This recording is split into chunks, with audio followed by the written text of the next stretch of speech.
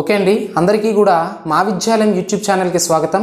అయితే మనం యొక్క ఏపీ హిస్టరీలో భాగంగా ఆల్రెడీ గత క్లాస్తో మనము అత్యంత సుదీర్ఘమైనటువంటి విజయనగర సామ్రాజ్యాన్ని కంప్లీట్ చేయడం అనేది జరిగింది. సో దీని యొక్క మధ్యయుగ ఆంధ్రదేశ చరిత్రలో భాగంగా మనం విజయనగర సామ్రాజ్యం తర్వాత మాట్లాడవలసినటువంటి ఇంపార్టెంట్ అయినటువంటి ఒక ప్రముఖమైనటువంటి వంశం ఏమిటంటే కుతుబ్ షాహీల గురించి మనం మాట్లాడాలి. అయితే మనం ఇక్కడ ఆంధ్రప్రదేశ్ హిస్టరీ గురించి మాట్లాడుతున్నాం కాబట్టి కుతుబ్ షాహీల గురించి మనకి ఎంతవరకు అవసరమో అంతవరకు సంబంధించినటువంటి మ్యాటర్ మాత్రమే తెలుసుకోవాలి. ఎందుకంటే గోల్కొండ ప్రాంతము వీరినే గోల్కొండ సుల్తాన్ అంటాం. ఈ గోల్కొండ సుల్తానులు లేదా కుతుబ్ షాహీలు అనేవారు ప్రధానంగా ఏ ప్రాంతాన్ని పరిపాలించారు? గోల్కొండ అంటే ఎక్కడ మనకి? తెలంగాణ. సో కాబట్టి తెలంగాణ హిస్టరీలో మనకి కుతుబ్ షాహీలు చాలా ఇంపార్టెంట్. కానీ మనం ఆర్డర్ వైజ్ మన యొక్క ఆంధ్రప్రదేశ్తో కూడా లింకప్ ఉంది కాబట్టి ఎంతవరకు అవసరమో అంతవరకు మాత్రమే మనం కుతుబ్ షాహీల గురించి మాట్లాడాలి. సో కాబట్టి మనం టాపిక్లోనికి వెళ్ళినట్లయితే కుతుబ్ షాహీ వంశం కుతుబ్ షాహీ డైనెస్టీ ఏదైతే ఉంటుందో వీరినే మనకి ఏమంటారంటే గోల్కొండ సుల్తానులు అని చెప్పేసి పిలవడం జరుగుతుంది. సో చాలా చాలా ఇంపార్టెంట్. వీరిని ఏమంటారు? గోల్కొండ సుల్తానులు. ఎందుకంటే గోల్కొండ కేంద్రంగా వీరు పరిపాలన చేశారు కాబట్టి వీరినే గోల్కొండ సుల్తానులు అని చెప్పేసి పిలుస్తూ ఉంటారు. అయితే ఇటువంటి కుతుబ్ షాహీ డైనెస్టీని స్థాపించినటువంటి వ్యక్తి ఎవరంటే కులీ కుతుబ్ అనేటటువంటి వ్యక్తి స్థాపించడం అనేది జరుగుతుంది ఏ సంవత్సరంలో స్థాపిస్తాడంటే పదిహేను వందల పన్నెండులో. చాలా చాలా ఇంపార్టెంట్. కులీ కుతుబ్ అనేటటువంటి వ్యక్తి పదిహేను వందల పన్నెండులో కుతుబ్ షాహీ సామ్రాజ్యాన్ని స్థాపించడం జరుగుతుంది. అందుకే స్వతంత్ర కుతుబ్ షాహీ సామ్రాజ్య స్థాపకుడని ఎవరిని చెప్తామంటే కులీ కుతుబ్ని చెప్పడం అనేది జరుగుతుంది. మరి ఇటువంటి కుతుబ్ షాహీలు ఎవరైతే ఉంటారో వీరు మన భారతదేశానికి చెందినవారంటే కాదు వీరు విదేశీయులు. మరి ఎక్కడ నుంచి వచ్చారు? వీడు ఏ విధంగా సామ్రాజ్యాన్ని స్థాపించాడు అనేటువంటి చరిత్ర మనకి చాలా ఇంపార్టెంట్. ఈ కుతుబ్ షాహీలు ఎవరైతే ఉంటారో వీరు దక్షిణ ఇరాన్ ప్రాంతం ఏదైతే ఉంటుందో ఈ దక్షిణ ఇరాన్ ప్రాంతంలోని హందం అనేటటువంటి వంశానికి చెందినటువంటి రాజులు హందం వంశానికి చెందినటువంటి వ్యక్తులు. హందం వంశంలో వీరి తెగ ఏమిటంటే కారా కునీల్ తెగ అని చెప్పేసి పిలుస్తూ ఉంటారు. కారా కునీల్ తెగ. కారా కునీల్ అంటే దాని అర్థం ఏమిటంటే నల్ల మేక అని అర్థం బ్లాక్ గోట్ అని అర్థం. ఏమిటి? కారా కునీల్ అంటే సో ఈ విధంగా దక్షిణ ఇరాన్లోని హందం వంశానికి చెందినటువంటి కారా కునీల్ తెగకు చెందినటువంటి వ్యక్తి ఎవరంటే కులీ కుతుబ్. మరి బాగానే ఉంది. వీడు అక్కడి నుంచి మన భారతదేశం ఎందుకు వచ్చాడంటే ఈ దక్షిణ ఇరాన్ ప్రాంతంలోనే ఇంకొక తెగ ఉంది స్థానికంగా. ఆ తెగ పేరు ఏమిటంటే అకునేన్ అనేటటువంటి తెగ ఉండేది ఒక స్థానిక తెగ. ఇటువంటి అకునేన్ అనేటటువంటి తెగ ఏదైతే ఉంటుందో వీరు ఈ కారాకునేన్ తెగపై దాడి చేయడం అనేది జరుగుతుంది. సో ఈ విధంగా అధిక సామర్థ్యం కలిగి ఉన్నటువంటి అకునేన్ తెగ కారాకునీల్ తెగపై దాడి చేయడంతో ఈ కారాకునీల్ తెగకు చెందినటువంటి హందం వంశానికి చెందినటువంటి వ్యక్తులు ప్రపంచంలో ఉన్నటువంటి చాలా దేశాలకి వలస వెళ్ళిపోవడం అనేది జరుగుతుంది. సో ఆ విధంగా అకునేన్ అనేటటువంటి స్థానిక తెగ వారిపై దాడి చేయడంతో ఇదే కారాకునీల్ తెగకు చెందినటువంటి కుతుబ్ కులీ కుతుబ్ అనేటటువంటి వ్యక్తి మన యొక్క భారతదేశానికి రావడం జరుగుతుంది. మన భారతదేశానికి వచ్చే నాటికి ఆ సమయంలో మన భారతదేశంలో బహమనీ సామ్రాజ్యాన్ని పాలిస్తున్నటువంటి రాజు ఎవరయ్యా అంటే మహమ్మద్ త్రీ అనేటటువంటి వ్యక్తి మన యొక్క బహమనీ సామ్రాజ్యాన్ని పరిపాలిస్తూ ఉన్నాడు. ఎందుకంటే నేను మీకు ఆల్రెడీ చెప్పిన్నాను పదమూడు వందల ముప్పై ఆరులో విజయనగర సామ్రాజ్యం అనేది ఏర్పడింది పదమూడు వందల నలభై ఏడులో బహమనీ సామ్రాజ్యం ఏర్పడిందని చెప్పే చెప్పిన్నాం.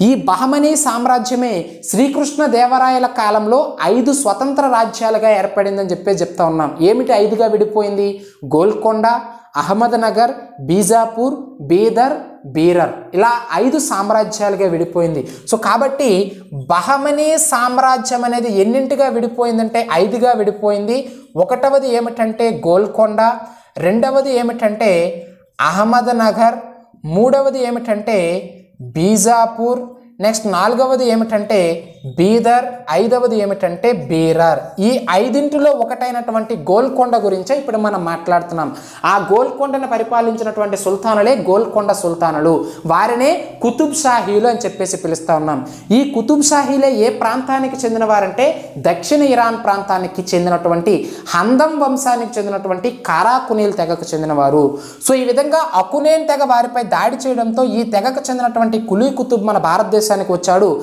ఆ సమయంలో బహమనీ సామ్రాజ్యం అంటే బహమనీ సామ్రాజ్యాన్ని పరిపాలిస్తున్నటువంటి మహమ్మద్ త్రీ ఎవరైతే ఉంటారో అతని యొక్క సైన్యంలో అంగరక్షక దళంలో చేరుతాడు ఈ యొక్క కులీ కుతుబ్. అంటే ఒక సాధారణ సైనికుడిగా మహమ్మద్ త్రీ దగ్గర పోస్ట్ కొడతాడు ఎవరు? కులీ కుతుబ్. అయితే పోస్ట్ కొట్టిన తర్వాత తన యొక్క మేధో సంపత్తి తన యొక్క తెలివితేటలతో అంచెలంచెలుగా ఎదగడం అనేది జరుగుతుంది.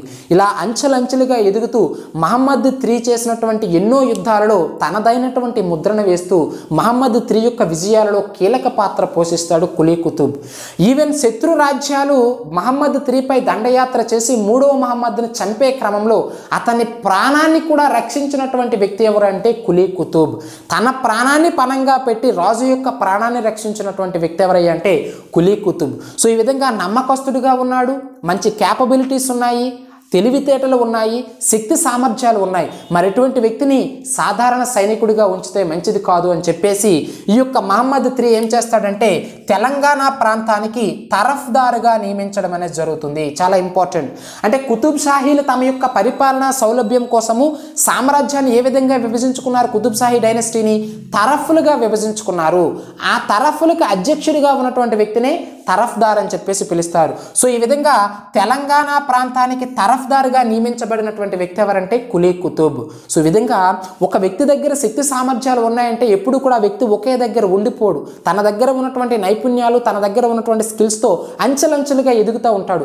అదేవిధంగా మహమ్మద్ త్రీ యొక్క సైన్యంలో సాధారణ సైనికుడిగా చేరినటువంటి విదేశీయుడైనటువంటి కులీ కుతుబ్ అనేవాడు ఇతర దక్షిణ ఇరాన్ ప్రాంతం నుంచి వచ్చినటువంటి వ్యక్తి అంచెలంచెలుగా వెదుగుతూ తరఫ్దారుగా నియమించబడ్డాడంటే అది చాలా గొప్ప విషయం అని చెప్పొచ్చు. అతనికి ఎటువంటి క్యాపబిలిటీస్ ఆ క్యాలిబర్ లేనట్లయితే అతనికి ఆ పోస్ట్ ఇవ్వరు కదా. సో ఈ విధంగా అంచెలంచెలుగా ఎదిగాడు తరఫ్దారుగా నియమించబడ్డాడు. అయితే ఇదంతా బాగానే ఉంది. ఈ యొక్క మహమ్మద్ త్రీ అనేటువంటి వ్యక్తి ఎవరైతే ఉంటారో ఇతను మనకి పదిహేను వందల పన్నెండులో మరణించడం అనేది జరుగుతుంది. ఎప్పుడైతే మహమ్మద్ త్రీ మరణించాడో వెంటనే స్వతంత్ర గోల్కొండ సామ్రాజ్యాన్ని గోల్కొండని రాజధానిగా చేసుకొని ఈ స్వతంత్ర కుతుబ్ షాహీ డైనస్టీని స్థాపిస్తాడు ఈ యొక్క కులీ కుతుబ్. ఎప్పుడంటే పదిహేను వందల పన్నెండులో. సో ఈ విధంగా పదిహేను వందల పన్నెండులో మహమ్మద్ త్రీ మరణం తర్వాత స్వతంత్ర కుతుబ్ షాహీ డైనస్టీని స్థాపిస్తే సుమారు నూట డెబ్బై ఐదు సంవత్సరాల పాటు అంటే పదహారు వందల ఎనభై ఏడు వరకు కూడా పదిహేను వందల పన్నెండు నుంచి పదహారు వందల ఎనభై ఏడు వరకు సుమారు నూట డెబ్బై ఐదు సంవత్సరాలు. మొదటి రాజు అయినటువంటి కులీ కుతుబ్ నుంచి చివరి రాజు అయినటువంటి అబుల్ హసన్ తానీసా చాలా ఇంపార్టెంట్. మొత్తం కుతుబ్ షాహీ డైనస్టీలో ఎంతమంది రాజులయ్యా అంటే ఏడుగురు రాజులు ఉంటారు.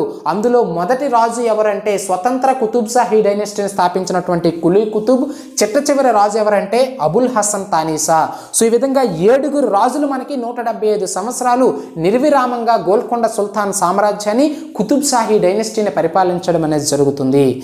చివరికి పంతొమ్మిది వ- పదహారు వందల ఎనభై ఏడులో మొఘల్ సామ్రాజ్యానికి సంబంధించినటువంటి ఔరంగజేబ్ ఎవరైతే ఉంటారో అతను మనకి ఈ యొక్క అబుల్ హసన్ అంటే చిట్ట చివరి రాజు అయినటువంటి అబుల్ హసన్ తానీసాపై దండయాత్ర చేసి గోల్కొండ కోటని ఆక్రమించుకొని గోల్కొండ సామ్రాజ్యాన్ని ఆక్రమించుకొని దాన్ని మొఘల్ సామ్రాజ్యంలో కలిపేయడంతో పదహారు వందల ఎనభై ఏడులో కుతుబ్ షాహీ డైనస్టీ అనేది అంతమవుతుంది.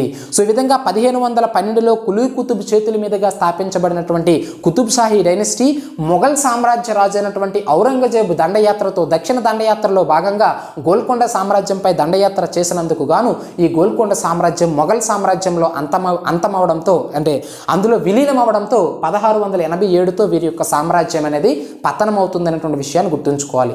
మరి మనం ఏ యొక్క సామ్రాజ్యం గురించి చెప్పినా వారి యొక్క రాజకీయ చరిత్ర మనం ప్రధానంగా మాట్లాడతాం. సో మరి ఇక్కడ కుతుబ్ షాహీ డైనస్టీకి సంబంధించి ఎంతమంది రాజుల యొక్క రాజకీయ చరిత్ర గురించి మాట్లాడాలి? ఏడుగురు రాజులు. మరి ఆ యొక్క ఏడుగురు రాజులు ఎవరు? ఎవరు ఏ ఏ కాలంలో పరిపాలించారనేటువంటి విషయాన్ని గురించి మాట్లాడుకున్నట్లయితే మరి మొట్టమొదటి వ్యక్తి ఎవరంటే కులీ కుతుబ్ అని చెప్పేసి పిలుస్తూ ఉన్నాం. చాలా ఇంపార్టెంట్ చాలా పుస్తకాల్లో కులీ కుతుబ్ షా అని చెప్పేసి ఇస్తూ ఉంటారు. షా అనేటటువంటి పదం మొదటి రెండు రాజులకి ఉండదు. కులీ కుతుబ్కి ఉండదు. తన కుమారుడైనటువంటి జంషీద్ కులీ కుతుబ్కు కూడా ఉండదు. తరువాత వచ్చినటువంటి ఇబ్రహీం కులీ కుతుబ్ షా ఎవరైతే ఉంటారో అతని నుంచి మనం షా ఉపయోగిస్తాం తప్ప మొదటి ఇద్దరు రాజులకి కూడా షా అనేది ఉండదు అనే విషయాన్ని గుర్తుంచుకోవాలి.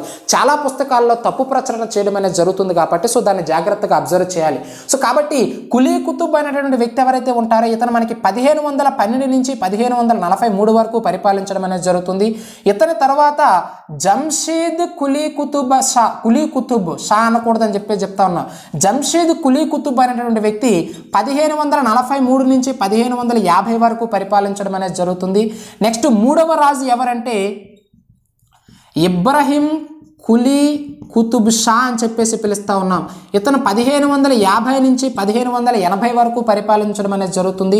నాలుగవ వ్యక్తి ఎవరంటే మహమ్మద్ కులీ కుతుబ్ షా అని చెప్పేసి పిలుస్తూ ఉన్నాం. ఇతను పదిహేను వందల ఎనభై నుంచి పదహారు వందల పన్నెండు వరకు పరిపాలించడం అనేది జరుగుతుంది. ఐదవ వ్యక్తి ఎవరంటే మహమ్మద్ కుతుబ్ షా అని చెప్పేసి పిలుస్తూ ఉన్నాం. ఇతను పదహారు వందల పన్నెండు నుంచి పదహారు వందల డెబ్భై రెండు వరకు కూడా పదహారు వందల ఇరవై ఆరు వరకు కూడా పరిపాలించడం అనేది జరుగుతుంది. నెక్స్ట్ ఆరో వ్యక్తి ఎవరంటే అబ్దుల్లా కుతుబ్ షా అని చెప్పేసి పిలుస్తూ ఉన్నాం. ఇతను పదహారు వందల ఇరవై ఆరు నుంచి పదహారు వందల డెబ్బై రెండు వరకు పరిపాలిస్తాడు. ఇంకా చిట్ట చివరి రాజు ఏడవ రాజు ఎవరంటే ఆల్రెడీ నేను చెప్పి ఉన్నాను. అబుల్ హసన్ తానీషా ఇతను మనకి పదహారు వందల డెబ్బై రెండు నుంచి పదహారు వందల ఎనభై ఏడు వరకు పరిపాలిస్తాడు. ఈ పదహారు వందల ఎనభై ఏడులోనే ఔరంగజేబు దండయాత్రతో అబుల్ హసన్ తానీషాను ఓడించి ఈ గోల్కొండ సామ్రాజ్యాన్ని మొఘల్ సామ్రాజ్యంలో విలీనం చేయడం అనేది జరుగుతుంది. సో కాబట్టి పదిహేను వందల పన్నెండులో కులీ కుతుబ్ స్థాపించినటువంటి గోల్కొండ సామ్రాజ్యము పదహారు వందల ఎనభై ఏడులో అబుల్ హసన్ తానీషాతో అంతమవుతుందనేటువంటి విషయాన్ని గుర్తుంచుకోవాలి. ఇక్కడ మనకి ఎంతమంది రాజులు పరిపాలించారో ఆర్డర్ గుర్తుంచుకోవాలి ఏడుగురు రాజులు. ఒకటవ వాడు కులీ కుతుబ్ రెండవ వాడు జంషీద్ కులీ కుతుబ్ మూడవ వాడు ఇబ్రహీం కులీ కుతుబ్ షా నాలుగవ వాడు మహమ్మద్ కులీ కుతుబ్ షా ఐదవ వాడు మహమ్మద్ కుతుబ్ షా ఆరవ వాడు అబ్దుల్లా కుతుబ్ షా ఏడవ వాడు చిట్ట రాజు అబుల్ హసన్ తానీషా ఇక్కడ ఈర్స్ అనేవి మీరు దయచేసి బట్టి పట్టద్దు గుర్తుంచుకోవడానికి ప్రయత్నించవద్దు. మీరు కాన్సెప్ట్ ఎప్పుడైతే తెలుసుకుంటారో ఆటోమేటిక్గా మీకు ఈర్స్ కానీ తేదీలు కానీ ఆటోమేటిక్గా గుర్తొస్తూ ఉంటాయి. అంతేగాని తేదీలను ఈర్స్ను బట్టి పట్టడం ద్వారా ఎటువంటి ఉపయోగం ఉండదు అనేటువంటి విషయాన్ని గుర్తుంచుకోవాలి. నేను ఇక్కడ ఉపాధ్యాయుడిగా చెప్పాల్సినటువంటి బాధ్యత నాపై ఉంది కాబట్టి ఆర్డర్ వైజు ఆయా కాలాలలో జరిగినటువంటి ప్రముఖ సంఘటనలను గుర్తుంచుకోవాలి కాబట్టి ఈ యొక్క డేట్లను మీకు చెబుతా ఉన్నాను తప్ప డేట్లను మాత్రం దయచేసి బట్టి పట్టొద్దు. సో ఈ విధంగా పదిహేను వందల పన్నెండు నుంచి పదహారు వందల ఎనభై ఏడు వరకు కూడా ఏడుగురు రాజులు యొక్క కుతుబ్ షాహీ డైనస్టీని పరిపాలించడం అనేది జరుగుతుంది. మరి అందులో భాగంగా మరి మనం మొట్టమొదటిగా చూడాల్సినటువంటి రాజు ఎవరంటే కులీ కుతుబ్ గురించి మనం మాట్లాడాలి. సో ఇక కులీ కుతుబ్ గురించి నేను మీకు ఆల్రెడీ చెప్పినాను. ఇతని యొక్క వ్యక్తిగత సమాచారం. ఇతను దక్షిణ ఇరాన్ ప్రాంతానికి చెందినవాడు కారాకునేల్ తెగకు చెందినవాడు హందం వంశానికి చెందినవాడు అకునేన్ అనేటటువంటి తెగ వారిపై దాడి చేయడంతో వారు ప్రపంచంలో వివిధ ప్రాంతాలకి పారిపోయారు. ఆ విధంగా కారాకునేల్ తెగకు చెందినటువంటి కులీ కుతుబ్ మన భారతదేశంలో ఉన్నటువంటి బహమనీ సామ్రాజ్యాన్ని పాలిస్తున్నటువంటి మహమ్మద్ త్రి సైన్యంలో చేరి అంచెలంచెలుగా ఎదిగి తెలంగాణ ప్రాంతానికి తరఫ్దారుగా నియమించబడి చివరికి పదిహేను వందల పన్నెండులో బహమనీ సామ్రాజ్య రాజు అయినటువంటి మహమ్మద్ త్రి మరణించడంతో స్వతంత్ర కుతుబ్ షాహీ డైనస్టీని స్థాపించాడు అని చెప్పేసి మనం ఆల్రెడీ మాట్లాడుకున్నాం. సో అది తనకు సంబంధించినటువంటి వ్యక్తిగత సమాచారం. అదేవిధంగా ఇతనికి ఉన్నటువంటి బిరుదు ఏమిటని చెప్పేసి అడుగుతూ ఉంటాడు. కుతుబ్ ఉల్ ముల్క్ అని చెప్పేసి పిలుస్తూ ఉంటాం నాన్న. కుతుబ్ ఉల్ ముల్క్ ఎవరి యొక్క బిరుదు? కులీ కుతుబ్ యొక్క బిరుదు ఏమిటంటే కుతుబ్ ఉల్ ముల్క్. అదేవిధంగా ఇతని యొక్క తండ్రి పేరు ఏమిటంటే షేర్ కులీ అని చెప్పేసి పిలుస్తూ ఉంటాం. కులీ కుతుబ్ యొక్క తండ్రి పేరు ఏమిటంటే షేర్ కులీ. చాలా ఇంపార్టెంట్. ఇతను ఎప్పటి నుంచి ఎప్పటి వరకు పరిపాలించాడంటే పదిహేను వందల పన్నెండు నుంచి పదిహేను వందల నలభై మూడు వరకు కూడా పరిపాలించాడు. అయితే పదిహేను వందల పదిహేడవ సంవత్సరం ఏదైతే ఉంటుందో ఈ పదిహేను వందల పదిహేడవ సంవత్సరంలో శ్రీకృష్ణ దేవరాయలకి మరియు ఈ యొక్క కులీ కుతుబుకి మధ్య ఒక యుద్ధం జరుగుతుంది. దాన్నే మనకి గోనీ యుద్ధము అని చెప్పేసి పిలుస్తూ ఉంటారు. గోనీ యుద్ధం అంటే ఇక్కడ మీకు అర్థం అవ్వాల్సింది ఏమిటి? కులీ కుతుబ్ ఇక్కడ పరిపాలిస్తున్నటువంటి సమయంలో అతని సమకాలీన విజయనగర రాజు ఎవరు అంటే కాంటెంపరీ కింగ్ ఎవరంటే శ్రీకృష్ణదేవరాయలు. ఈ విధంగా శ్రీకృష్ణదేవరాయలకి కులీ కుతుబ్కి మధ్య పదిహేను వందల పదిహేడు ఇతను టైం పీరియడ్లో ఉందా లేదా? ఆ పదిహేను వందల పదిహేడులో వారిద్దరి మధ్య జరిగినటువంటి యుద్ధం ఏమిటంటే గోనీ యుద్ధం. ఈ గోనీ యుద్ధంలో శ్రీకృష్ణదేవరాయలు ఈ కుతుబ్ షాహీ వంశాన్ని స్థాపించినటువంటి కులీ కుతుబ్ను ఘోర పరాజయం చెందించడం అనేది జరుగుతుంది. అంటే కులీ కుతుబ్ అనేవాడు ఎవరి చేతుల్లో ఓడిపోయాడు? విజయనగర సామ్రాజ్య రాజు విజయనగర సామ్రాజ్యంలోనే తులువు వంశానికి చెందినటువంటి గొప్ప రాజు శ్రీకృష్ణదేవరాయల చేతుల్లో ఓడిపోవడం అనేది జరుగుతుంది. అదేవిధంగా ఇతని యొక్క ఇతర సమకాలీన రాజులు ఎవరు అని చెప్పేసి అడుగుతూ ఉంటాడు. ఇతను పరిపాలనా సమయంలోనే పదిహేను వందల ఇరవై ఆరులో మొదటి పానిపట్ యుద్ధం అనేది జరుగుతుంది. చాలా చాలా important first Panipat war. So అందులో మనకి బాబర్ విజయం సాధించడం అనేది జరుగుతుంది. సో మొదటి పానిపట్ యుద్ధంలో బాబర్ విజయం సాధించి ఏ సామ్రాజ్యాన్ని స్థాపిస్తాడు? మొఘల్ సామ్రాజ్యాన్ని. సో కాబట్టి మొఘల్ సామ్రాజ్యానికి పునాదులు ఏ యొక్క యుద్ధంతో పడ్డాయి అంటే మొదటి పానిపట్ యుద్ధంలో గెలిచినందుకు గాను మొఘల్ సామ్రాజ్యానికి సంబంధించినటువంటి స్థాపకుడు బాబర్ అనేవాడు మొఘల్ సామ్రాజ్యాన్ని స్థాపిస్తాడు. ఈ బాబర్ ఎవరైతే ఉంటారో అతను కూడా ఎవరికి సమకాలీకుడు? కులీ కుతుబుకి. ఎందుకంటే పదిహేను వందల ఇరవై ఆరు అంటున్నామంటే ఇతనే సమకాలీకుడే. అదేవిధంగా ఈ యొక్క బాబర్కు సంబంధించి మనం ప్రధానంగా మాట్లాడుకున్నట్లయితే ఈ యొక్క యుద్ధాన్ని మనం చాలా ప్రముఖంగా గుర్తుంచుకోవాలి. ఏది? ఈ యొక్క ఏ యుద్ధము? మొదటి పానిపట్ యుద్ధం అనేది చాలా చాలా ఇంపార్టెంట్ అయినటువంటి అంశము. సో కాబట్టి విజయనగర సామ్రాజ్యానికి సంబంధించినటువంటి శ్రీకృష్ణదేవరాయలు మొఘల్ సామ్రాజ్య స్థాపకుడైనటువంటి బాబర్ ఎవరైతే ఉంటారో వీరిద్దరూ కూడా ఎవరి సమకాలీకులయ్యా అంటే ఈ యొక్క కులీ కుతుబ్ యొక్క సమకాలీకులు. అంటే కుతుబ్ షాహీ సామ్రాజ్యాన్ని ఒకవైపు కులీ కుతుబ్ పరిపాలిస్తున్నటువంటి సమయంలో మొఘల్ సామ్రాజ్యాన్ని పరిపాలించినటువంటి వ్యక్తి ఎవరయ్యా అంటే బాబర్ విజయనగర సామ్రాజ్యాన్ని పరిపాలించినటువంటి వ్యక్తి ఎవరయ్యా అంటే శ్రీకృష్ణ దేవరాయలు అనేటువంటి విషయాన్ని మనకి ఇక్కడ గుర్తుంచుకోవాలి. అయితే గోల్కొండలో మనకి రెండు మినార్లతో జామా మసీదు నిర్మాణాన్ని ప్రారంభిస్తాడు. రెండు మినార్లతో. మినార్ అంటే దాని అర్థం ఏమిటంటే స్తంభం అని అర్థం. సో విధంగా రెండు స్తంభాలు కలిగి ఉన్నటువంటి జామా మసీదును గోల్కొండలో నిర్మించడం ప్రారంభించినటువంటి వ్యక్తి ఎవరయ్యా అంటే కులీ కుతుబ్. ఇక్కడ ప్రారంభించాడని ఎందుకు చెప్తున్నామంటే దీన్ని ముగించినటువంటి వ్యక్తి ఇతను కాదు. దీని యొక్క నిర్మాణాన్ని పూర్తి చేసినటువంటి వ్యక్తి ఎవరయ్యా అంటే ఇబ్రహీం కుతుబ్ షా. అతని యొక్క చిన్న కుమారుడైనటువంటి ఇబ్రహీం కుతుబ్ షా ఈ జామా మసీదు యొక్క నిర్మాణాన్ని పూర్తి చేయడం అనేది జరుగుతుంది. సో కాబట్టి ఈ యొక్క అంటే మనం ప్రస్తుతం చూస్తున్నటువంటి గోల్కొండలో ఉన్నటువంటి జామా మసీదు నిర్మాణాన్ని ప్రారంభించింది ఎవరయ్యా అంటే కులీ కుతుబ్. ఆ నిర్మాణాన్ని పూర్తి చేసింది ఎవరయ్యా అంటే ఇబ్రహీం కుతుబ్ షా అనేటటువంటి విషయాన్ని మనం ఇక్కడ ప్రధానంగా గుర్తుంచుకోవాలి. ఈ యొక్క జామా మసీదును ఆధారంగా చేసుకొని తరువాత కాలంలో చార్ మినార్ను కూడా నిర్మించడం అనేది జరిగింది. అంటే ఈ రెండు మినార్లతో కూడినటువంటి జామా మసీదును ఆధారంగా చేసుకునే చార్ మినార్. చార్ అంటే ఏంటి నాలుగు? మినార్ అంటే ఏమిటి స్తంభాలు? నాలుగు స్తంభాలతో కూడి ఉన్నటువంటిది. మీరు అబ్జర్వ్ చేస్తే హైదరాబాద్లో ఉన్నటువంటి చార్మినార్ మీకు కనిపిస్తూ ఉంటుంది. నాలుగు స్తంభాలు కనిపిస్తూ ఉంటాయి. దాని అర్థం ఏమిటి? నాలుగు స్తంభాలతో కూడుకున్నటువంటి నిర్ణయం ఏంటి నిర్మాణం? దాన్ని దేన్ని ఆధారంగా చేసుకొని నిర్మించారంటే ఈ జామా మసీద్ రెండు మినార్లు కలిగి ఉన్నటువంటి జామా మసీదుని ఆధారంగా చేసుకొని నిర్మించారనేటువంటి విషయాన్ని మనకి ఇక్కడ గుర్తుంచుకోవాలి. ఇంకొక విషయం ఏమిటంటే ఈ కులీ కుతుబ్ తర్వాత రాజ్యానికి వచ్చినటువంటి వ్యక్తి ఎవరంటే జంషీద్ కులీ కుతుబ్. ఎలా వస్తాడంటే ఈ జంషీద్ కులీ కుతుబ్ అనేవాడు చాలా క్రూరుడు చాలా భయంకరమైనటువంటి వ్యక్తి.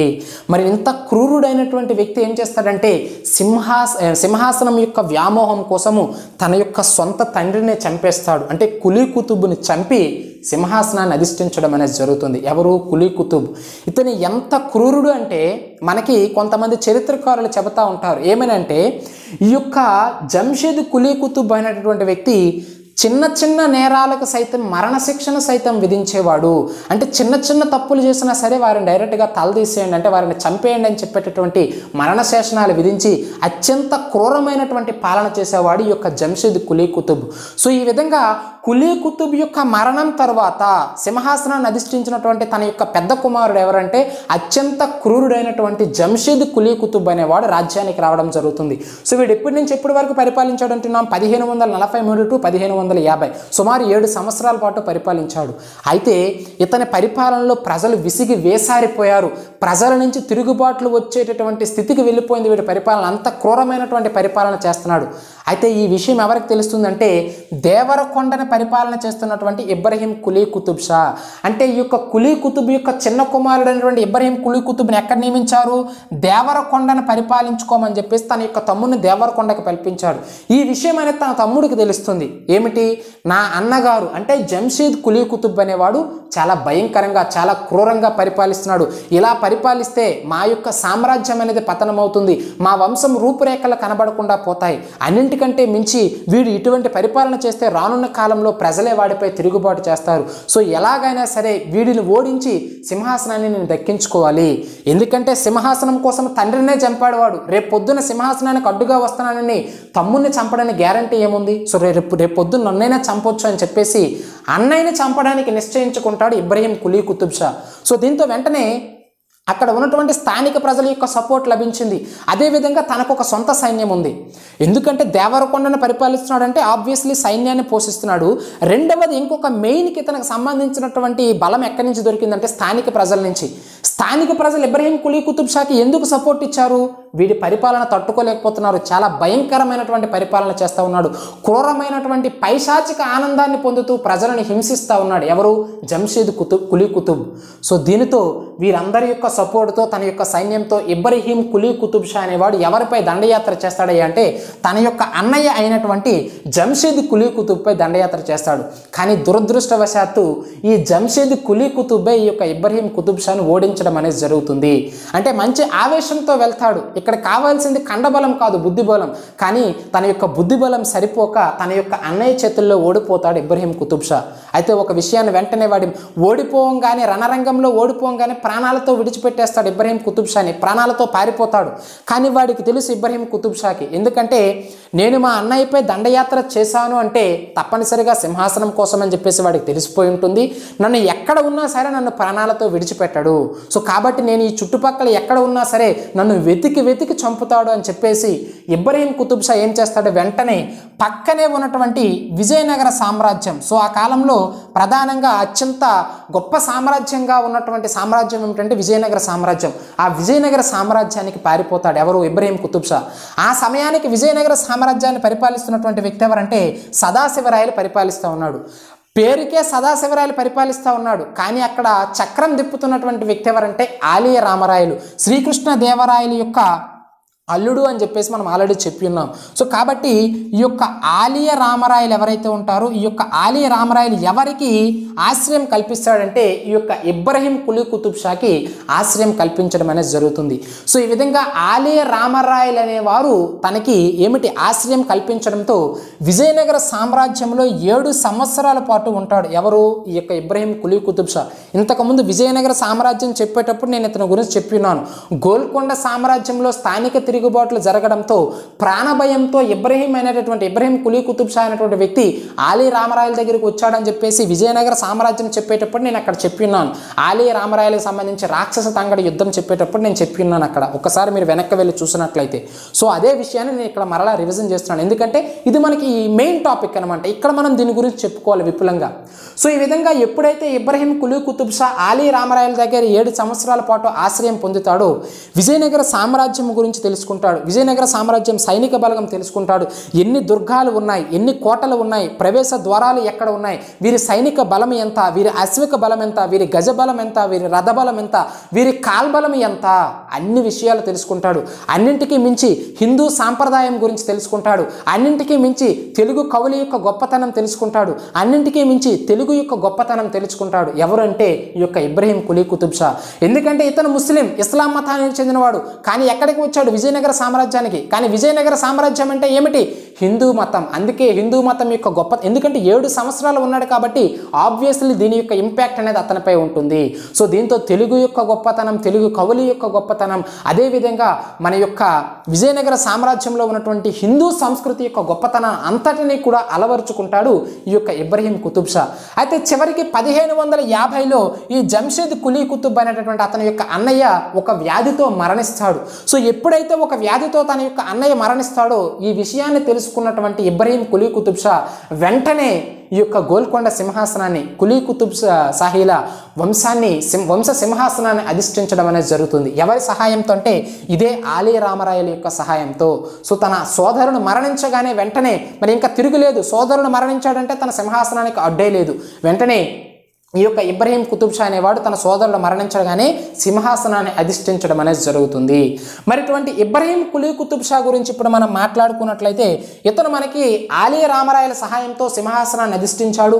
పదిహేను వందల యాభై నుంచి పదిహేను వందల ఎనభై వరకు కూడా సుమారు ముప్పై సంవత్సరాల పాటు నిర్విరామంగా ఈ యొక్క గోల్కొండ సామ్రాజ్యాన్ని పరిపాలించాడని చెప్పేసి చెప్పవచ్చును మరి ఇతని కాలంలో ముఖ్యమైనటువంటి అంశాలను మనం ప్రధానంగా మాట్లాడుకున్నట్లయితే ఇతని యొక్క నిర్మాణాలు చాలా చాలా ఇంపార్టెంట్. ఎవరు? ఇబ్రహీం కులీ కుతుబ్ షా నిర్మించినటువంటి నిర్మాణాలు ఎంత ఇంపార్టెంట్ అంటే ఆ నిర్మాణాల గురించి మాట్లాడే ముందు ఇబ్రహీం కులీ కుతుబ్ షాకు సంబంధించి రాజకీయ చరిత్ర గురించి మనం ప్రధానంగా మాట్లాడదాం. సో ఇతను ఇబ్రహీం కులీ కుతుబ్ షాకి సింహాసనం రావడంలో కీలక పాత్ర పోషించినటువంటి వ్యక్తి ఎవరు? ఆలీ రామరాయలు. ఎందుకంటే ఇతను ఏడు సంవత్సరాల పాటు ఎక్కడున్నాడు? విజయనగర సామ్రాజ్యంలో. విజయనగర సామ్రాజ్యంలో ఉన్నాడు కాబట్టి అక్కడ ఏమి అలవరుచుకున్నాడని చెప్పేసి చెప్పి ఉన్నాము. హిందూ సంస్కృతిని అలవరుచుకున్నాడు. తెలుగు యొక్క గొప్పతనాన్ని తెలుసుకున్నాడని చెప్పేసి చెప్పి ఉన్నాం. అందుకే ఇతని యొక్క ఆస్థానంలో కూడా తెలుగు కవులను పోషించాడు. ఇతని యొక్క రాజ్యంలో కూడా తెలుగుకు ఒక ప్రత్యేకమైనటువంటి ఆదరణ కల్పించాడు. సో ఈ విధంగా తెలుగు కవులను ఆదరించడం రచించడము తెలుగు కవులను పోషించడము తెలుగుకు తనదైనటువంటి ముద్ర వేసి తమ యొక్క గోల్కొండ సామ్రాజ్యంలో తెలుగుకు కల్పించినటువంటి ఒక ప్రత్యేకమైనటువంటి స్థానానికి గాను ఇతనికి ఒక బిరుదు లభిస్తుంది. అదే ఏమిటంటే మల్కాభిరామ అనేటటువంటి బిరుదు లభిస్తుంది. మల్కాభిరామ ఎవరి యొక్క బిరుదు అంటే ఇబ్రహీం కులీ కుతుబ్ షా యొక్క బిరుదు ఏమిటంటే మల్కాబి రాముడు ఎందుకు ఆ బిరుదు లభించిందంటే తెలుగుకు తాను చేసినటువంటి సేవ తెలుగు కవులను తాను ఆదరించడం తెలుగు నవలను తను ఆదరించడం తెలుగును ప్రోత్సహించడం ద్వారా తనకు ఆ యొక్క బిరుదు లభించింది. మరి తెలుగు అనే పిచ్చి వీడికి ఎందుకు పెట్టింది? చెప్పి ఉన్నాను. ఆల్రెడీ ఏడు సంవత్సరాల విజయనగర సామ్రాజ్యంలో ఆశ్రయం పొంది ఉన్నాడు. ఎవరు? ఈ యొక్క ఇబ్రహీం కులీ కుతుబ్ షా అనేటటువంటి విషయాన్ని మనం ఇక్కడ గుర్తుంచుకోవాలి. మరి మల్కాభిరాముడు బిరుదు అంటున్నారు తెలుగుని ప్రోత్సహించాడంటున్నారు. మరి ఇతను ఏ తెలుగు కవులను తన యొక్క ఆస్థానంలో పోషించాడు సార్ అనే విషయాన్ని మనం మాట్లాడుకున్నట్లయితే ఒకటవ వ్యక్తి ఎవరంటే కందుకూరి రుద్రకవి అని చెప్పేసి పిలుస్తూ ఉన్నాం. చాలా చాలా ఇంపార్టెంట్ ఈ కందుకూరి రుద్రకవి రచించినటువంటి రచనలు ఏమిటంటే నిరంకుశోపాఖ్యానం అనేటటువంటి గ్రంథాన్ని రాస్తాడు నిరంకుశోపాఖ్యానం. ఇంకొక ఇంపార్టెంట్ గ్రంథం ఏమిటంటే సుగ్రీవ విజయం. చాలా చాలా ఇంపార్టెంట్. ఇది మనకి తెలుగులో మొట్టమొదటి యక్షగాన గ్రంథము అని చెప్పేసి పిలుస్తూ ఉంటారు. ఏది? సుగ్రీవ విజయం. దాన్ని రచించింది ఎవడు కందుకూరి రుద్రకవి. చాలా చాలా ఇంపార్టెంట్. తెలుగులో మొట్టమొదటి యక్షగాన గ్రంథం ఏమిటి? సుగ్రీవ విజయం. దాన్ని రచించింది ఎవరు? కందుకూరి రుద్రకవి. అతను ఎవరి ఆస్థానం యొక్క ఆస్థాన కవి? ఈ యొక్క కుతుబ్ షాహీ డైనస్టీకి సంబంధించినటువంటి ఇబ్రహీం కులీ కుతుబ్ షాకి చెందినవాడు. యక్షగానం అంటున్నాం యక్షగానం అంటే ఏమిటంటే ఇక్కడ యక్షగానం అనేది మనకి ప్రధానంగా సంగీతంతో కూడి ఉన్నటువంటి నృత్యము. అంటే ఒకవైపు సంగీతం మనం వాయిస్తూ ఉంటే ఇంకొక వైపు వారు నృత్యం చేస్తూ ఉంటారు. సంగీతం లేకపోతే ఆ నృత్యం యక్షగానం చేయడం అనేది సాధ్యం కాదు. సో ఈ విధంగా సంగీతంతో ముడిపడి ఉన్నటువంటి యొక్క నృత్యాన్నే యక్షగానము అని చెప్పేసి పిలుస్తూ ఉంటారు. మనకి ప్రధానంగా కర్ణాటక ప్రాంతంలో యక్షగానం అనేది బాగా ఫేమస్. మన తెలుగు ప్రాంతాల్లో తక్కువ కానీ కర్ణాటక ప్రాంతంలో యక్షగానం చాలా ఫేమస్. ఈ యొక్క మ్యూజిక్తో రిలేటెడ్గా ఉన్నటువంటి నృత్యము చాలా చాలా ఇంపార్టెంట్ అయినటువంటి అంశం. సో అటువంటి యక్షగానానికి సంబంధించినటువంటి గ్రంథాన్ని సుగ్రీవ విజయాన్ని మొట్టమొదటిసారిగా తెలుగులో రచించినటువంటి కవి ఎవరయ్యా అంటే కందుకూరి రుద్రకవి అని చెప్పేసి మనం ప్రధానంగా చెప్పవచ్చును. సో చాలా చాలా ఇంపార్టెంట్ అయినటువంటి అంశం. అదేవిధంగా ప్రోలుగంటి తెలగనాచార్యుడు అని చెప్పేసి పిలుస్తూ ఉంటాం. ప్రోలుగంటి తెలగనాచార్యుడు. ఇతను రచించినటువంటి గ్రంథం ఏమిటంటే యాయాతి చరిత్ర అని చెప్పేసి పిలుస్తూ ఉంటాం. చాలా చాలా ఇంపార్టెంట్ తెలుగులో మొట్టమొదటి అచ్చ తెలుగు కావ్యం ఏమిటంటే ఈ యొక్క యాయాతి చరిత్ర. మొట్టమొదటి అనేది చాలా గుర్తుంచుకోవాలి. తెలుగులో మొట్టమొదటి యక్షగానానికి సంబంధించిన గ్రంథం ఏమిటంటే సుగ్రీవ విజయం. అదేవిధంగా తెలుగులో మొట్టమొదటి అచ్చ తెలుగు గ్రంథం ఏమిటంటే ఈ యొక్క యాయాతి చరిత్ర అని చెప్పేసి చెప్పవచ్చును. అదేవిధంగా ఇతని ఆస్థానంలో ఉన్నటువంటి ఇంకొక కవి ఎవరంటే అద్దంకి గంగాధరుడు చాలా చాలా ఇంపార్టెంట్. అద్దంకి గంగాధరుడు. ఇతను రచించినటువంటి గ్రంథం ఏమిటంటే తపతి సంవరణోపాఖ్యానం చాలా ఇంపార్టెంట్. ఎగ్జామినేషన్లో అడుగుతూ ఉంటాడు తపతి సంవరణోపాఖ్యానం అనేటువంటి గ్రంథాన్ని అనే గ్రంథాన్ని రచించినటువంటి కవి ఎవరు? ఎవరినన్నా అద్దంకి గంగాధరుడు. అతను ఎవరి ఆస్థానంలో ఆస్థాన కవి? ఇబ్రహీం కులీ కుతుబ్ షా యొక్క ఆస్థాన కవి. అదేవిధంగా ఈ యొక్క తపతి సంవరణోపాఖ్యమైనటువంటి గ్రంథాన్ని రచించినటువంటి అద్దంకి గంగాధరుడు ఎవరి కాలానికి ఎవరి వంశానికి ఏ యొక్క వంశానికి చెందినవాడు ఏ డైనెస్టీకి చెందినవాడు అని అడుగుతాడు. కుతుబ్ షాహీ డైనెస్టీకి సంబంధించినటువంటి కవి అని చెప్పే చెప్పవచ్చును. సో కాబట్టి మల్కాభిరాముడు అనేటటువంటి బిరుదు పొందినటువంటి ఇబ్రహీం కులీ కుతుబ్ షా అనేవాడు ప్రధానంగా ఏ యొక్క కవులను పోషించాడయ్యా అంటే కందుకూరి రుద్రకవి ప్రోలుగంటి తెలగనాచార్యుడు అద్దంకి గంగాధరుడు అనేటువంటి ముగ్గురు తెలుగు కవులను తన యొక్క ఆస్థానంలో పోషించి వారికి అవకాశం కల్పించాడు. ఇటువంటి ఎంతోమంది కవులను పోషించాడు కాబట్టి అతనికి మల్కాభిరాముడు అనేటటువంటి బిరుదు లభించింది అనేటువంటి విషయాన్ని మనం ఇక్కడ ప్రధానంగా గుర్తుంచుకోవాలి. అదేవిధంగా ఇక్కడ మనకి తెలగనాచార్యుడు యాయాతి చరిత్ర రచించాడని చెప్పేసి చెప్తా ఉన్నాం. ఆ యాయాతి చరిత్రను ఎవరికి అంకితం చేశాడని చెప్పేసి ఒకసారి ఎగ్జామినేషన్లో అడిగి ఉన్నాడు.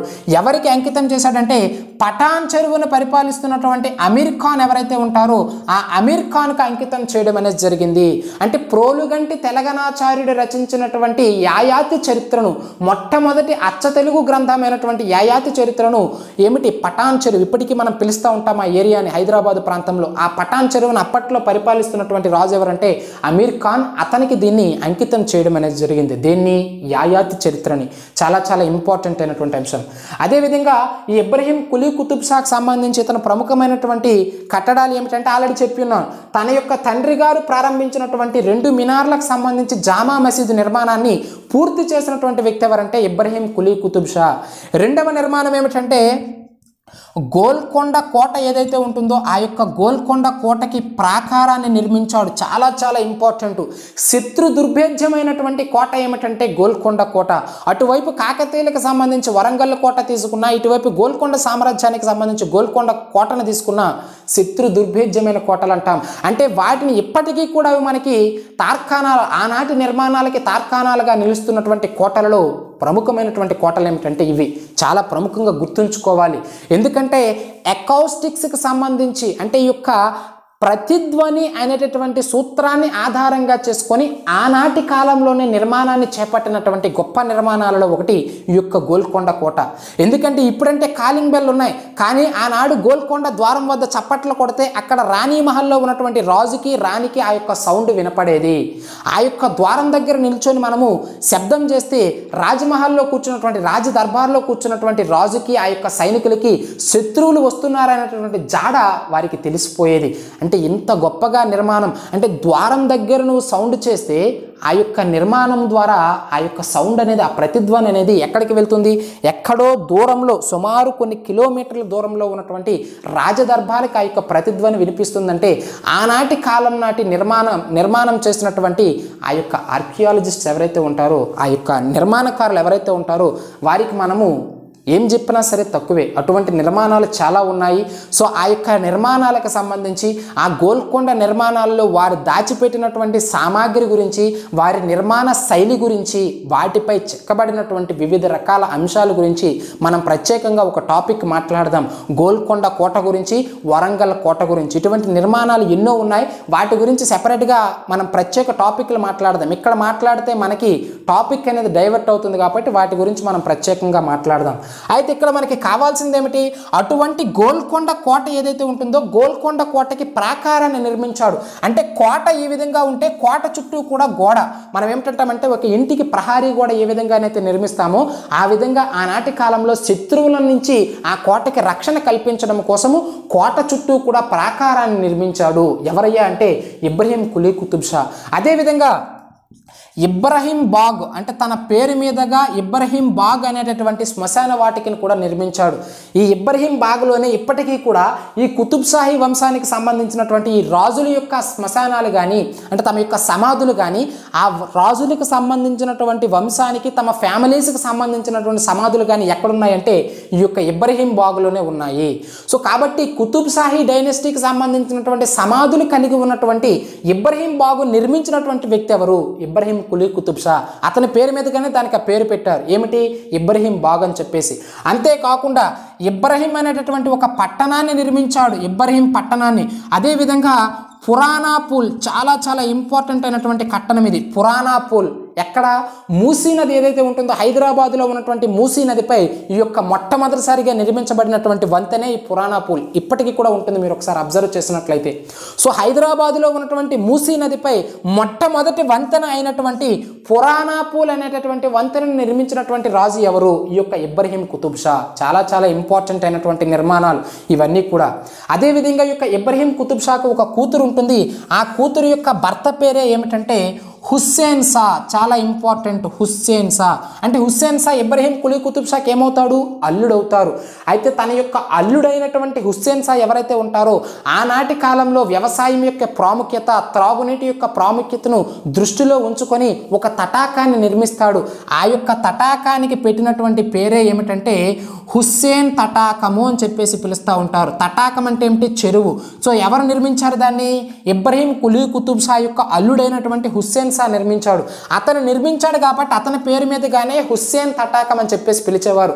దానినే ఇప్పుడు మనం ఏమంటున్నామంటే హుస్సేన్ సాగర్ అని చెప్పేసి పిలుస్తా ఉన్నాం. ప్రస్తుతం మనకి ట్యాంక్ బండ్ ఏదైతే ఉంటుందో హైదరాబాద్లో ఆ ట్యాంక్ బండ్ దగ్గర ఉన్నటువంటి హుస్సేన్ సాగర్ ఏదైతే ఉంటుందో దాన్ని నిర్మించినటువంటి వ్యక్తి ఎవరై అంటే హుస్సేన్ షా. ఎవరి యొక్క అల్లుడు అంటే ఇబ్రహీం కులీ కుతుబ్ షా యొక్క అల్లుడు. తన కుమార్తెను వివాహం చేసుకున్నాడు కాబట్టి తనకి అల్లుడు అవుతాడు సో చాలా చాలా ఇంపార్టెంట్ అయినటువంటి అంశాలు ఇవన్నీ కూడా. సో మనకి ప్రధానంగా ఇబ్రహీము కులీ కుతుబ్ షాకు సంబంధించినటువంటి అంశాలు. అయితే ఇతని కాలంలోనే మీరు అబ్జర్వ్ చేస్తే పదిహేను వందల యాభై టు పదిహేను వందల ఎనభై ఉంటున్నాం మరి ఇతని కాలంలోనే పదిహేను వందల అరవై ఐదులో రాక్షసి తంగడి యుద్ధం తల్లికోట యుద్ధం భోగాపుర యుద్ధం అని చెప్పేసి చెప్పి ఉన్నాం. తల్లికోట యుద్ధం అంటే ఏమిటి? నేను మీకు ఈ హిస్టరీ అనేది ఆల్రెడీ నేను మీకు గత క్లాస్లో చెప్పి ఉన్నాను.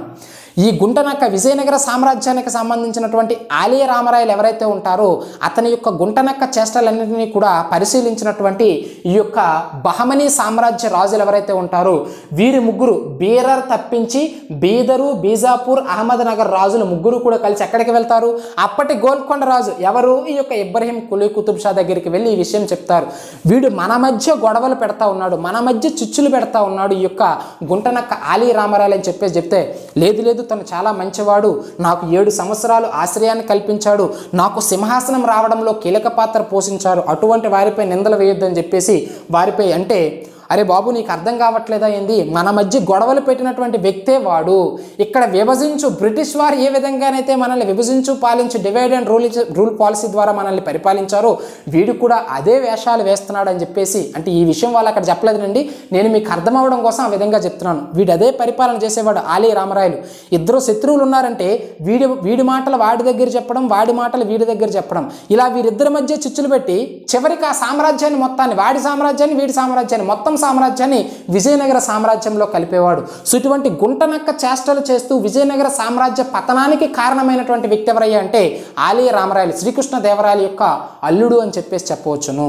సో ఇటువంటి చేష్టలన్నింటినీ అబ్జర్వ్ చేసినటువంటి వీరు అర్థమైనట్టు ఎవరికి చెప్తారు? ఇబ్రహీం కులీ కుతుబ్ షాకి. సో వెంటనే దానికి నాయకత్వమే అంటే ఆ యుద్ధానికి వెంటనే విజయనగర సామ్రాజ్యంపై యుద్ధాన్ని ప్రకటించండి. ఆ యుద్ధానికి నాయకత్వం నేనే వహిస్తానంటాడు ఎవరు? ఇబ్రహీం కులీ కుతుబ్ షా ఎందుకు అతనే నాయకత్వం వహించాడంటే ఆల్రెడీ ఏడు సంవత్సరాలు విజయనగర సామ్రాజ్యంలో ఉన్నాడు కాబట్టి వారి సైనిక బలగం ఎంత? వారి కోటలు ఎన్ని వారి దుర్గాలు ఎన్ని? వారి యొక్క బలాలు ఏమిటి? వారి యొక్క బలహీనతలు ఏమిటి? అన్నీ కూడా తెలుసు. అందుకే ఆ యొక్క సైన్యానికి నాయకత్వం వహించి ఎవడైతే వాడికి ఆశ్రయం కల్పించాడో వాడిపైకి యుద్ధానికి వెళ్తాడు ఈ యొక్క ఇబ్రహీం కుతుబ్ షా మరియు అతని నేతృత్వంలో ఉన్నటువంటి బహమనీ కూటమి. సో ఈ విధంగా బహమనీ కూటమికి మరియు విజయనగర సామ్రాజ్యానికి మధ్య పదిహేను వందల అరవై ఐదులో జరిగినటువంటి యుద్ధమే తల్లికోట యుద్ధము. ఈ యొక్క తల్లికోట యుద్ధంలో ఆలయ రామరాయలను చంపి విజయనగర పట్టణాన్ని ఆక్రమించుకొని గోల్కొండ సామ్రాజ్యంలో కలిపేసినటువంటి వ్యక్తి ఎవరయ్యా అంటే ఇబ్రహీం కుతుబ్ షా మరియు తన యొక్క మిత్రులైనటువంటి ఈ యొక్క అహ్మద్నగర్ బీజాపూర్ బీదర్ పాలకులు అనేటువంటి విషయాన్ని గుర్తుంచుకోవాలి. ఈ తల్లికోట యుద్ధంలో పాల్గొనటువంటి సామ్రా ఏమిటి? రాజ్యం ఏమిటి అంటే నేను మీకు ఆల్రెడీ చెప్పి ఉన్నాను. బీరర్. ఎందుకంటే నాది చిన్న సామ్రాజ్యం నేను అంత పెద్ద యుద్ధంలో పాల్గొలేను ప్రభు. నన్ను దయచేసి వదిలేయండి అని చెప్పేసి బీరర్ను పరిపాలిస్తున్నటువంటి ఇమాదసా కోరడంతో సో ఆ యొక్క ఇమాదసాని విడిచిపెట్టి మిగిలినటువంటి నాలుగు రాజ్యాలు బీదరు బీజాపూరు అహ్మద్నగర్ గోల్కొండ రాజ్యాలు ఒక కూటమి ఇటువైపు ఆలీ రామరాయల నేతృత్వం వహిస్తున్నటువంటి ఒక కూటమి. ఈ రెండు కూటముల మధ్య పదిహేను వందల అరవై ఐదులో జరిగిన యుద్ధమే తల్లికోట యుద్ధం. ఈ యుద్ధంలో ఓడిపోయింది ఎవరంటే ఆలీ రామరాయలు. ఓడిపోవడమే కాదు వాడిని చంపేస్తారు. చంపేసి విజయనగర పట్టణాన్ని ఆక్రమించుకోవడం అనేది జరుగుతుంది. సో కాబట్టి ఈ తల్లికోట యుద్ధం కూడా ఈ యొక్క ఇబ్రహీం కులీ కుతుబ్ షా కాలంలో జరిగినటువంటి రాజకీయ చరిత్రలో భాగంగా ప్రముఖంగా గుర్తుంచుకోవాల్సినటువంటి అంశాలు. గోని యుద్ధం ఎవరి కాలంలో జరిగిందంటే కులీ కుతుబ్ కాలంలో పదిహేను వందల పదిహేడులో. ఎవరెవరికి మధ్య అంటే శ్రీకృష్ణ దేవరాయలకి మరియు ఈ యొక్క కులీ కుతుబ్కి మధ్య. ఇతని సమకాలీన మొఘల్ సామ్రాజ్య రాజు ఎవరు అంటే నేను మీకు ఆల్రెడీ చెప్పి ఉన్నాను. బాబర్ అనేటటువంటి విషయాన్ని మనం ఇక్కడ ప్రధానంగా గుర్తుంచుకోవాలి. సో ఈ విధంగా పదిహేను వందల యాభై నుంచి పదిహేను వందల ఎనభై వరకు వరకు పరిపాలిస్తాడు.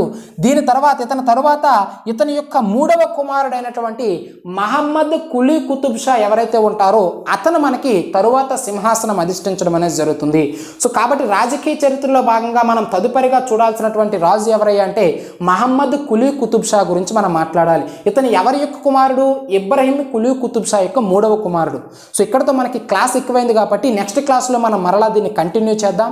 సో దయచేసి మన యొక్క మా విద్యాలయం ఛానల్ ఏదైతే ఉంటుందో దాన్ని మీ యొక్క మిత్రులతో షేర్ చేయండి లైక్ చేయండి కామెంట్ చేయండి సబ్స్క్రైబ్ చేసుకోవడం మాత్రం మర్చిపోవద్దు. ఓకేనా థ్యాంక్ యూ